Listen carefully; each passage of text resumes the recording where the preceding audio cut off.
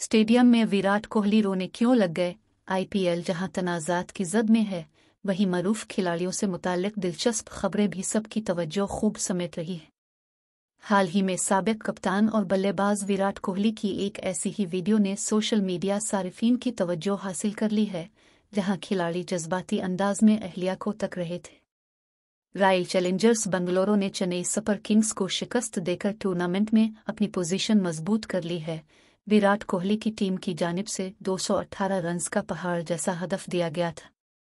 ताहम मुखालिफ team runs मुकम्मल न कर सकी और मैच हार गई, लेकिन इस सब में विराट कोहली और उनकी अहलिया के दरमियान आँखों ही आँखों में होने वाली बातें सबकी तवज्जो हासिल कर गई। मैच जीतने पर अदाकारा अनुष्का शर्मा शौहर को सपोर्ट करने और जज्बाती होते हुए खड़ी हो गई, जबकि उनकी आँखें भी नम हो गई थीं।